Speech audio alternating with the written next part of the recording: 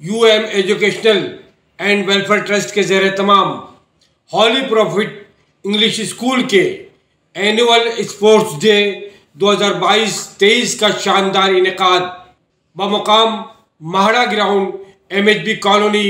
Dindoshi Nagar Malad Mumbai میں مختلف کھیلوں کے ذریعے ہالی پروفٹ انگلش اسکول کے طلباء و طالبات کا بہترین مظاہرہ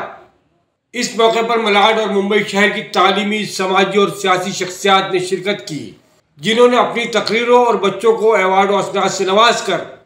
ان کی حوصلہ افزائی کرتے ہوئے اسکول کے پرنسپل فیروز عثمان خان، اسکول کی نائب principal engineer Fahim Usman Khan,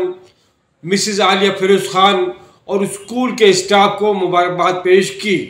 جن میں مہمان خصوصی کے طور پر نام قابل ذکر ہیں۔ منوج چالکے، پی آئی کرار پولیس اسٹیشن، اجیت رانے، سابق میونسپل کونسلر سلیم بھاٹی، کارگزار صدر Janata Dal Mumbai, doctor Ahmed Siddiqui, doctor Tajammul Khan, doctor Rizwan Khan, doctor Sanaullah Khan, doctor Azeem, doctor Raees Baig, doctor Naseem, Saad Siddiqui اور ملی کونسل ممبئی صدر Rashid Azeem holy prophet English school کے سالانہ کھیل کے مقابلوں میں نمایاں کامیابی حاصل کرنے والے طلبہ و طالبات کو اسکول کے پرنسپل فیروز عثمان خان اسکول کی نائب پرنسپل فہیم عثمان خان، مسز عالیہ فیروز خان نے اپنے بدست مبارک سے خصوصی طور پر ایوارڈ تقسیم کیے۔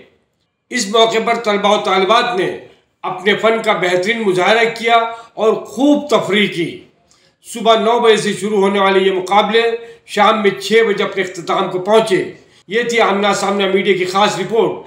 ویڈیو جرنلسٹ شاہین پٹیل کے ساتھ راشد عظیم آپ سے اجازت چاہتا ہے۔ جے ہند، جے مہاراشٹر۔ اللہ حافظ۔